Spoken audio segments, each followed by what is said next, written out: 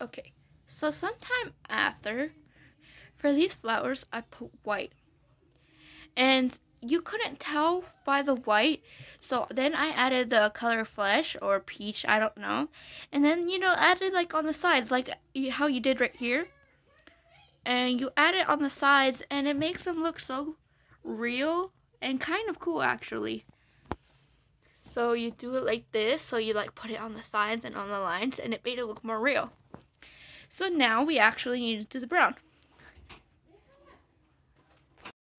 So now we need to put like branches. This is Ma, the, you know, you know, it's kind of, I can't say it, but you kind of figure it out after I paint it. So we're going to paint like the branches, branches at the top and at the bottom. And we're going to use this brown. I can't say the name. Oh. I can't really say the name. It's also acrylic, obviously. We're gonna find out. And then we're gonna use this brown. I think it's called burnt umber, something like that. Um, I don't know if you can see the other one. Well, they're both types of brown, so so we're just gonna paint all of these things, okay?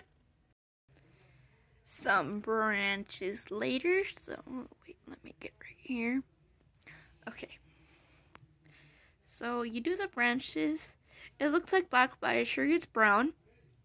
So now we have to do this thing.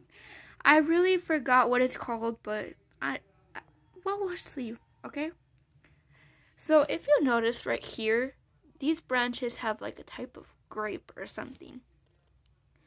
And so these ones, it's kind of sloppy right now. Um, I'm kind of planning doing them about a reddish pinkish, like something like that. And for the plant of the macaws, okay, I really, I love macaws. They're really pretty birds. So this one's gonna be like that blue with like yellow one. You probably don't know which one I'm talking about, but okay. And then we have this one, which is a red, you know those bright color reds.